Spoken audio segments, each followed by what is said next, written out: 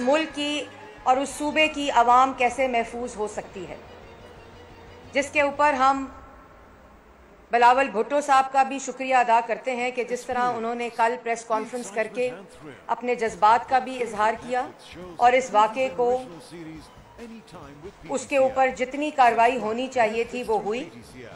और फिर chief of army staff ने भी इसका वाक़े का नोटिस लिया और एक इंक्वायरी ऑर्डर की है। लेकिन जो एक अहम बात है, जिसको नज़रअंदाज नहीं होने दिया जा सकता, वो है कि किस तरह सुबह साढ़े छः बजे मरियम नवाज़ शरीफ साहिबा के कमरे के दरवाजे को तोड़कर धावा बोला गया। किस तरह पहले दरवाज़ा खटकाया गया। कैप्टन सफदर जो हैं, वो दरवाजे पर गए और उन्होंने कहा, मैं अभी आता हूँ, अपने कपड़े लेकर और दवाइयाँ लेकर। उसके बावजूद सिक्योरिटी लैच को तोड़कर कमरे के अंदर दाखिल हुए, जहाँ मरियम नवाज़ शरीफ साहिबा मौजूद थी। सुबह साढ़े छः बजे का ये वक्त था। इस बात का जवाब देना होगा कि ये किसके हुक्म के ऊपर हुआ, ये किसने किया और ऐसा क्यों हुआ?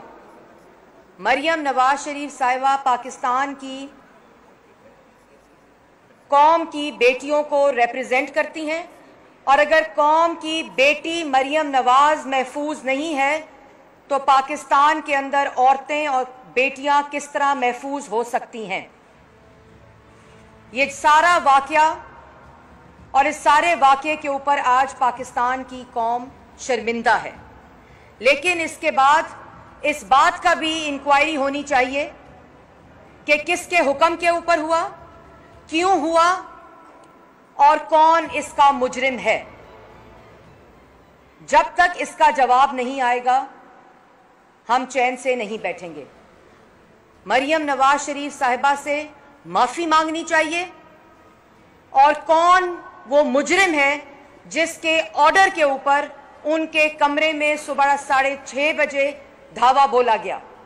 इस बात को नज़रअंदाज नहीं किया जा सकता, क्योंकि ये इस बात की निशानदेही करती है कि अगर मरियम नवाज़ शरीफ साहिबा के कमरे में सुबह साढ़े छः बजे धावा बोलकर हमला किया जाता है तो फिर पाकिस्तान में कोई भी कौम की बेटी महफूज नहीं है।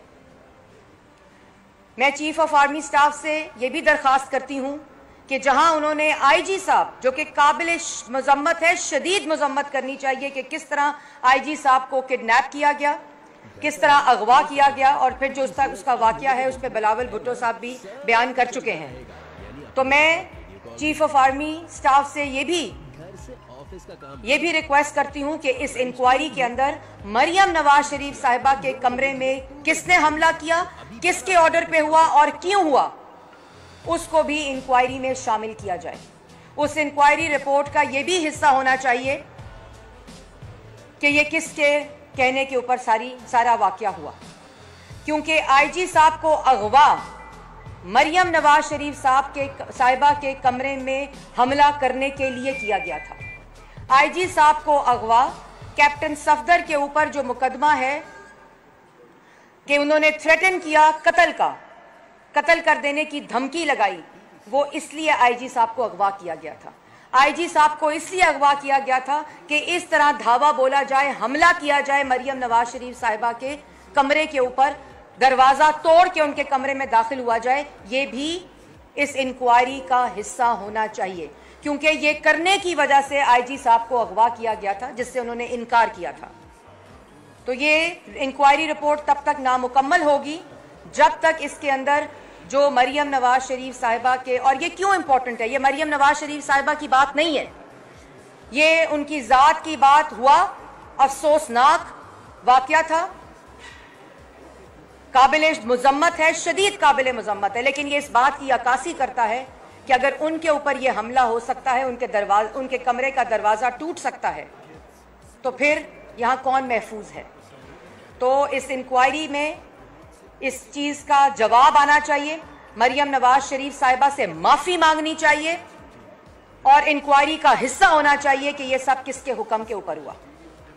तो मैं आपके ज़रिए भी, मीडिया के ज़रिए भी ये बात रखना चाहती हूँ कि जल्द अज जल्द जब ये इंक्वायरी रिपोर्ट आए, उसके अंदर मरियम नवाज़ शरीफ साहिबा के जो वाक़ है शर्मनाक वाक्य है अफसोसनाक वाक्य है।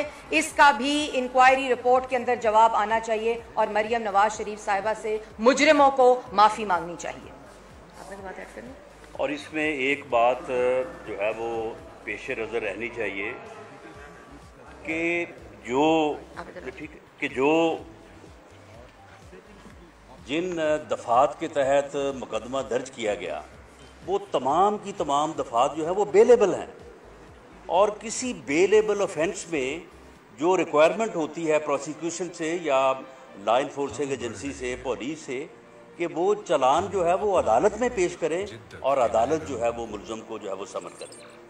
यानी बे लेबल ऑफेंस जो है उसमें किसी मुलजम को गिरफ़्तार करने का इख्तियार नहीं होता, पुलिस के पास। और गिरफ़्तार करने की ज़रूरत नहीं होती। तो फिर बिला ज़रूरत सिर्फ़ और सिर्फ़ इंतकाम और अपनी नफरत और अपने इंतकाम को जो है वो लेने के लिए एक इंतकामी कार्रवाई जो है वो की गई। और ये इंतकामी कार्रवाई जो है, जो मरियम नवाज़ साहबा जो कि एक पार्टी की लीडर है, वो एक बड़ी पार्टी को रिप्रेजेंट करती हैं। तो उनके बेडरूम में जो है वो फोर्सफुली जो है वो दाखिल होना, दरवाज़ा तोड़ के, और उसके बाद जो है वो वहाँ से जो है वो कैप्टन सफदर साहब को जो है वो गिरफ़्तार करना। जबकि वो ख़ुद कमरे से बाहर आने को तैयार थे तो ये एक इंतहाई शर्मनाक और अफसोसनाक जो है वो अमल है। और ये ये जो है, ये कोई छोटी खिलाफ वर्जी नहीं, ये आइन की खिलाफ वर्जी है। आइन का आर्टिकल चौदह जो है, वो हर पर्सन के जो है वो उसकी प्राइवेसी को और उसकी डिग्निटी को जो है वो इंश्योर करता है। आइन इस बात का तहफ़ देता है हर शहरी को कि उसकी जो डिग्निटी है और उसकी जो प्राइवेसी है वो नाकबिल तस्खीर है। और उस दिन जो है बिला जवाज़ विदाउट एनी जो है वो रीज़न एंड लाफुल एक्सक्यूज जो है ये अमल जो है वो किया गया। इस अमल को जो है वो जितना भी कंडेम किया जाए वो कम है। और ये सिर्फ़ मरीम नवाज़ साहबा से माफ़ी मांगने की बात नहीं है। ये पूरी कौम की बेटियों से जो है वो माफ़ी मांगने की बात है। और ये पूरी कौम की बेटियों से जो है वो मदद करने की जो है वो बात है। और जो दस दिन का टाइम दिया गया है कि आईजी साहब के घर की, जो उनकी भी प्राइवेसी और उनको, उनके घर में दाखिल होके उनको वहाँ से अगवा किया गया किस मकसद के लिए? इसी मकसद के लिए। इसी मकसद के लिए जो है वो उनको अगवा किया गया। और इसका मकसद ये था कि मरियम नवाज़ साहबा को खौफजदा किया जाए। एक ऐसा एक्शन उनके खिलाफ किया जाए कि वो खौफजदा हो। ये सियासी इंतकाम था। तो इसके ऊपर जो है वो दस दिन में जो इंक्वायरी रिपोर्ट आएगी, उसमें इस वाक़े के ज़िम्मेदारों का भी तयन जो है वो होना चाहिए। ये हमारा मुतालबा है और हम किसी सूरत जो है, किसी सूरत, इस मुतालबे से जो है वो पीछे नहीं हट सकते। जी, बिस्मिल्लाह रहीम। आपकी तवज्जो सिर्फ़ इस तरफ़ मबजूल करानी है कि तजर्बा इमरानी जो साल से ज़्यादा हो गया है, वाज तौर पर नाकाम हो चुका था। अब ये तजर्बा इमरानी जो है, जिसको आप मखलूत हाकमियत भी कहते हैं, हाइब्रिड निज़ाम है, ये अब मुल्क में एनार्की फैला रहा है। जब एक सूबे की पुलिस के आला अफसरान यकमुश्त होकर इनकार कर दें काम करने से तो ये पाकिस्तान, पूरे पाकिस्तान के लिए लम्हा फिक्रिया है और ये वैसा ही वाक़ है जो लाहौर में बगावत की एफ़ आई आर दर्ज की गई थी, क्योंकि ये दोनों जो जुर्म हैं, लाहौर में हुआ और कराची में हुआ, ये वफाकी हकूमत की जोरिस्टिक्शन है कानून में। कायद आज़म का मज़ार फेडरल जोरिस्टिक्शन है।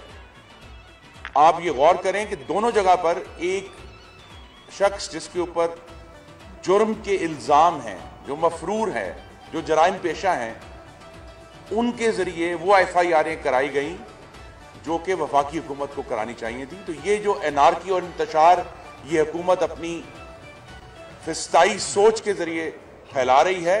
ये पाकिस्तान को एक ऐसी नहज पर ले आए हैं कि अब ये मुल्क जो है, ये अनगवर्नेबल हो गया है। और इसीलिए ये पूरी पी डी एम की तहरीक इस वक्त जारी है, जिसके दो जलसों ने ही इस हुकूमत को बदहवास कर दिया है कि मुल्क में आइन की अमलदारी हो, और ये वही आइन है जिसका ज़िक्र किया गया है, जो कहता है कि चादर और चार दीवारी का तकदस होगा। किसी के घर में बगैर वजह पुलिस नहीं घुसेगी, दरवाजे नहीं तोड़ेगी खातन का एहतराम करेगी। तो ये हमारा पुरजोर मुतालबा है। मैं मैं भी उसको दोहराऊँगा कि जो मरियम नवाज़ साहब के कमरे में घुसाई। मरियम बीबी को आप रखते हैं एक तरफ़ वो एक सियासी पार्टी की अब अहदेदार हैं। लेकिन मुल्क की तमाम बेटियों से तमाम खवतान से माफ़ी मांगनी है और ये कहना है कि आइंदा ऐसी कोई हरकत नहीं होगी। थैंक यू वेरी मच ठीक है thank you ji. The excitement and thrill of your favorite Very kindly possible.